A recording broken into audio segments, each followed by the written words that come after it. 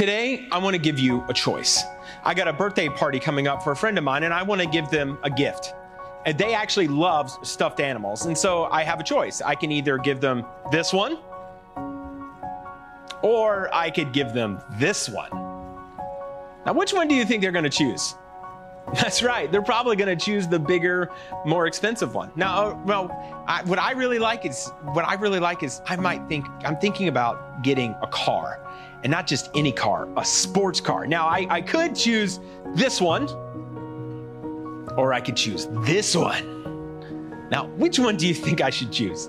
That's right. I should choose the, the nicer one because that old one, ugh, that's rough. Now, I'm not actually going to buy a stuffed animal for a friend because I don't have a friend who's having a birthday party that likes stuffed animals. And, and I'm not going to do a sports car. I'm not going to buy myself a car either. No, what you actually did is you helped me make a point. And the point is, is that we as humans, what we like to do is we like to look at the outward appearance. We like to judge things by the way things look on the outside and not the way things look on the inside. But what God does is God actually looks at the inside. The Bible actually says that God knows what's going on in the heart while man can only see what's on the outside. We can only see what people do and, and how they act. We don't know how they think and what their motivations are. You see, when God chooses people, He chooses ordinary people, people that we wouldn't even suspect that, he, that would be chosen to be used by God. And that's exactly what we learned in our Bible story with Mary. Mary was an ordinary person. And you see, God uses ordinary people, God chooses ordinary people. Mary was not a princess and she wasn't a super popular person. She wasn't she wasn't the most rich person. In fact, she was a poor girl who lived in a poor town, who lived and lived in a poor country in the backwaters of the Roman Empire. No one expected anything special to come from Mary. But that is who God chose. God chose her, not because of where she lived or how much influence she could have, but He chose her because she served God with all of her heart, all of her life. She knew, God knew that all He do, God knew that all He had to do was ask her and she would follow. Mary was confused. She didn't understand how God was possibly going to have her give birth to the Son of God. How is that even possible? But she trusted God. She trusted God, and so and God knew that. God knew who she was, and He chose to choose her anyway. You see, God knows who you are. And He's chosen you to do something extraordinary. He's chosen you to do something incredible. And even though we may never figure out what that is, or we won't figure that out what that is for a long time, God knows who you are and how He has made you and what He wants you to do. He has a plan for your life. But what we have to do is we have to be willing to follow God's plan. You see, Mary, she was faced with that choice. Now, she could have chosen to not believe the angel, and, and maybe she did have Jesus, but she, she didn't have to choose to continue to marry Joseph. She didn't have to choose to raise Jesus up by sending him to school and helping him learn all about God. She could have kept him away from all of those things, but she chose not to.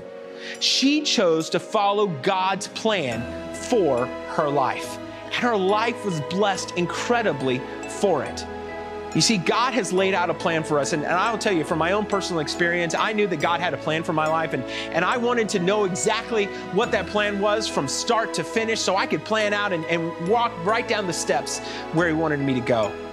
But that's not actually what happened. What actually happened is that God just showed me the next step and the next step and the next step. And even times where I wasn't sure, I just, I trusted God would lead me on the right path. And as I've continued to live out, my, live out God's plan for my life, I can tell you that my life is incredibly blessed. And I hope yours, as you follow God, can also be blessed as well. Because here's the thing is that nothing is impossible with God. There are some times where we think that God is asking us to do something that's impossible. There's no way that this could possibly happen, but it did. I can tell you in, in, my life, when God called me to be a pastor, I was trying to be a doctor. I was doing super well in school. I was trying to get a scholarship so I could go to college and, and pay for school because I knew my parents couldn't pay me for it.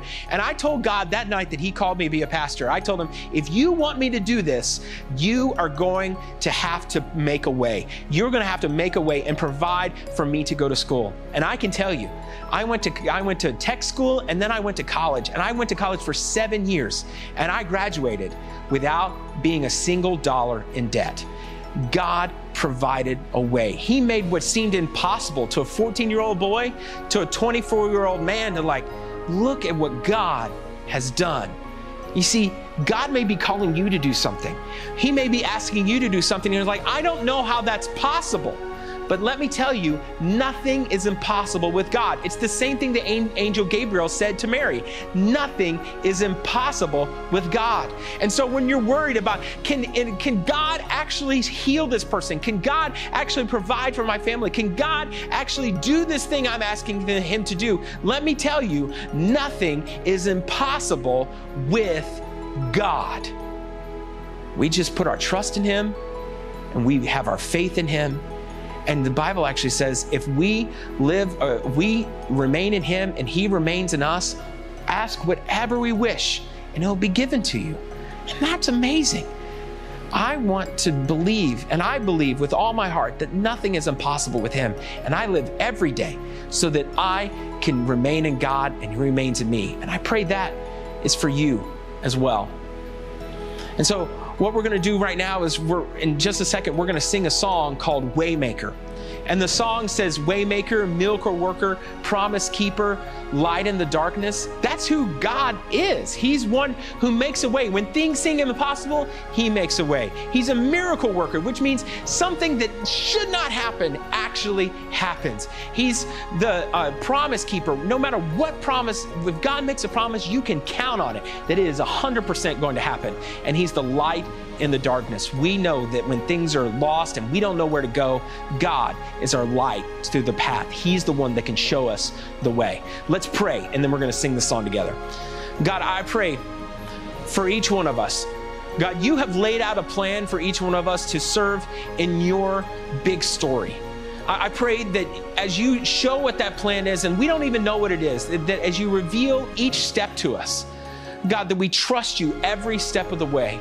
And God, we know that there's nothing that is impossible with you. I, I, pray for the kids who you may be calling, you may be calling to be in the ministry or, or go do something incredible that they don't think they could possibly do. Or maybe they want to eh, give away toys at the Christmas shoebox thing we're going to do in a couple weeks, or, or, maybe they, they want to give to missions, or, or maybe maybe they want to see someone healed. God, I pray, God, that each one of them they, they trust you and know that nothing is impossible with you. God, I thank you that you are the waymaker and God, you're the miracle worker, and nothing is impossible with you. It's your name we pray. Amen. Let's sing this together Waymaker.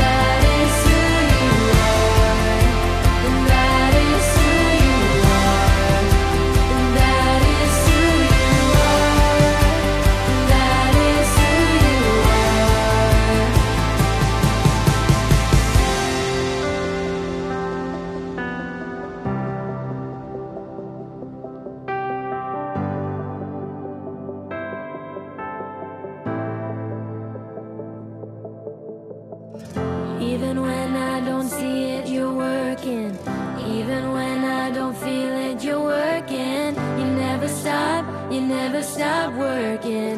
You never stop, you never stop working. Even when I don't see it, you're working.